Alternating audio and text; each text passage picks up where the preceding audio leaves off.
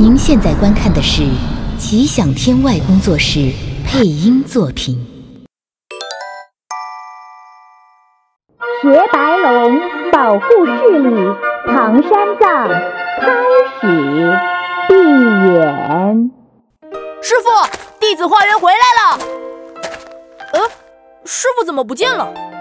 嗯，空气里还能闻到残留的妖气，该不会是被妖怪带走了吧？什么？那可大事不好了！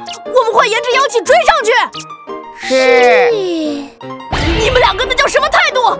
师傅现在说不定正在被邪恶的妖魔残虐的玩弄着呢。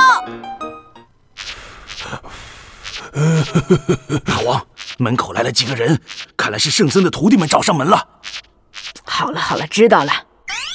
你们这些笨蛋，我等你们很久了，就让本王来陪你们玩玩吧。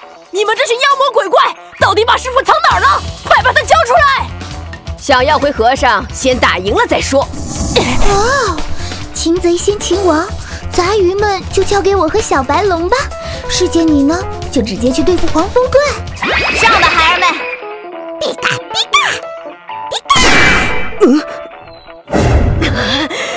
这两棒好重，用手硬接，一不小心就要跪。糟糕，要被围攻了。嗯。哇，这都是些什么不要脸的东西！等等一下，这么多个一起来！啊啊！看来师姐已经占了上风，应该很快就可以打败他了。哎，我好像听到了很熟悉的声音。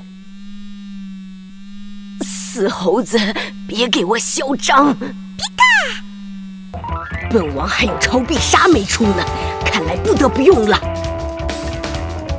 哦。打开开关，哇！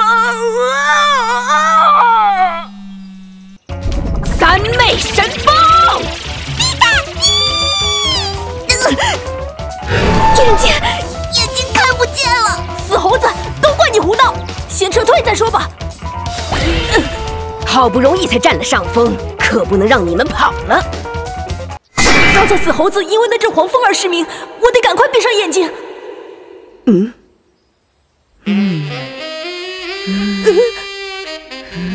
啊！我是绝对不会睁眼的。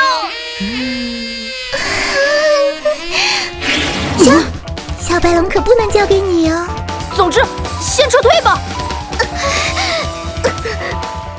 报告大王，和尚的徒弟们跑了。让他们跑吧。虽然那只骚猴子确实让我火很大。但反正他也不是本王三昧神风的对手。既然知道了他们的斤两，那就说明没必要怕唐僧了。咱们现在就回去把它吃了。妖怪好像没追过来，现在应该安全了。师姐，你的眼睛还好吗？眼睛睁不开，看来要去看眼科了。努力一下嘛，睁开了有好东西看呢。为什么突然会有如此强烈的残念闪过？眼前到底发生了什么？